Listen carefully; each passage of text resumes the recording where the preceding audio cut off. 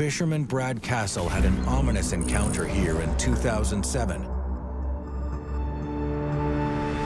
And for the first time, he's willing to share his story on camera.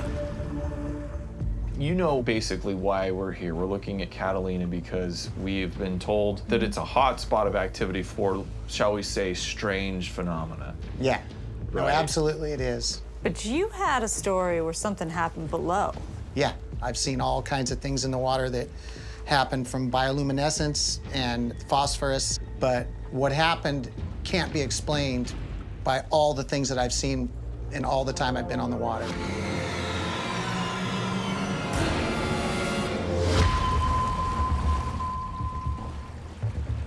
We're probably seven, eight miles past the east end of Catalina, headed towards San Clemente, and it was super dark. It was about midnight. And as we're cruising along, the ocean just lit up. At least 100 yards in every direction around where we were on the boat was bright, bright white light. Super, super brilliant. And it was shocking. It was so bright. When it came on, just took your breath away. The guy that was with me actually screamed. It was just insane. It was so, so brilliant. Did you feel at this instant that maybe you and your friend weren't going to live? Absolutely, we did. Feeling his boat being pulled towards the light, Brad gunned the engine. And then it, boom, was off like that.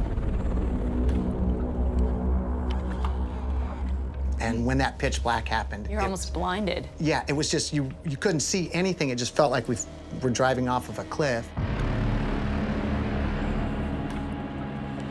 If there were some type of craft above you, would you have been able to hear it? Oh yeah, yeah. This wasn't above us. This was definitely below.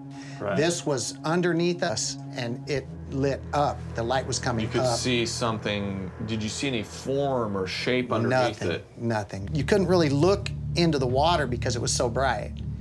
It was so bright. It was just unbelievable. I have a aeronautical chart here, and this is what I often use to fly with. I'm wondering if you kind of show me where your sighting was. Here's Catalina, there's San Clemente. Approximately right here, about 20 miles past Uh-huh. Catalina, right in this area right here.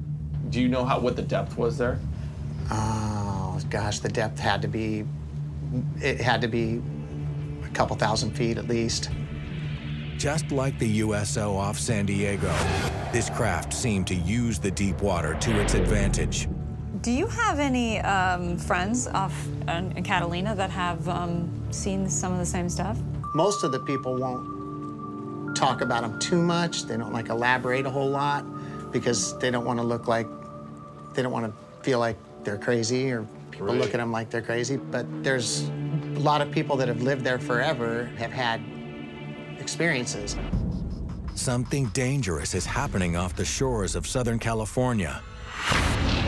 What are these USOs up to? And how concerned should we be?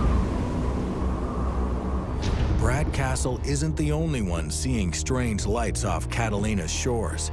He connects Ben and Melissa with a witness who has some compelling video that could help the investigation.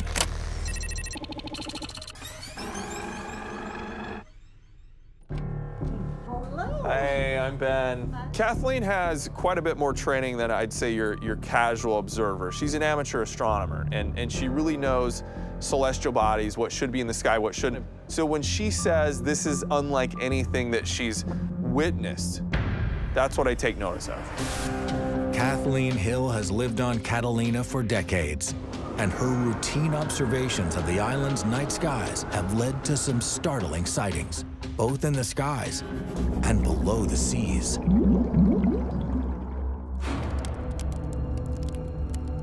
Kathleen Hill interview, Catalina investigation.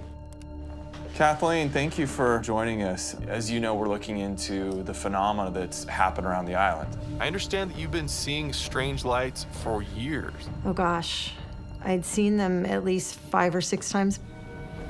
The first time in 2007 or 2008 My kids and I were eating dinner. We're looking out the window and we're like, whoa, look at those orange lights. And there were three, like a pyramid. And they just stayed in the same spot. This went on for a good 50 minutes, and then they just went out.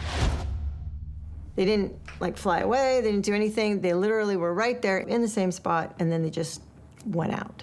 No movement whatsoever, just just stationary in the sky. Right. The strange lights around Catalina plagued Kathleen for years, and she made it her mission to catch video proof of their presence.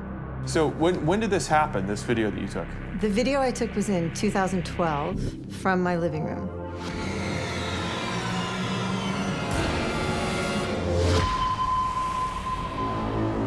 In my film, you'll see them kind of move, but that's me lining up the camera and the lens and trying to hold it steady. But they don't move. Why don't you, you show me your video?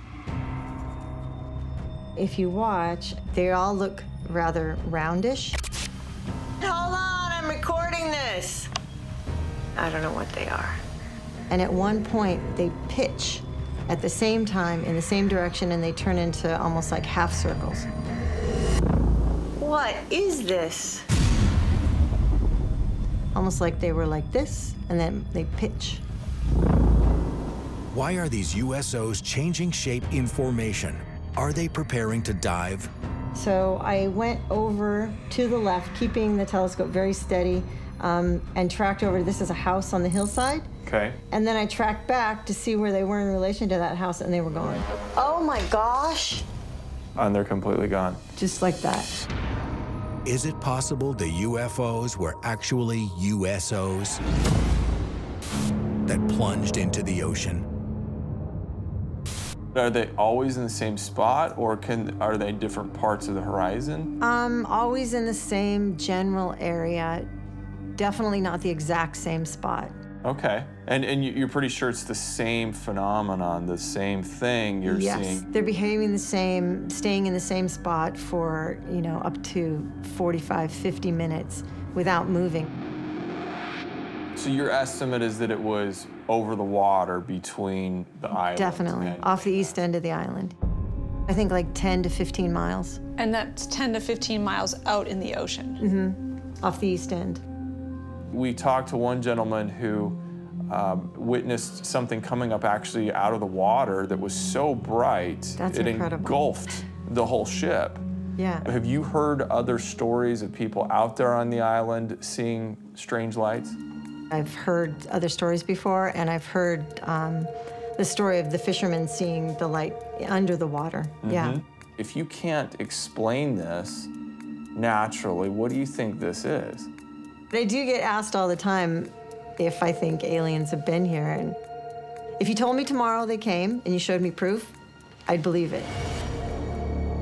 Is there something just unique about Catalina, the Channel Islands, that would lend itself to our investigation?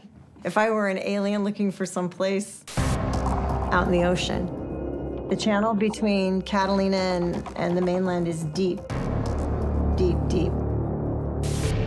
The seafloor reaches depths over one mile off the coast of Catalina Island. Could an alien species be using the trench as cover for an underwater base?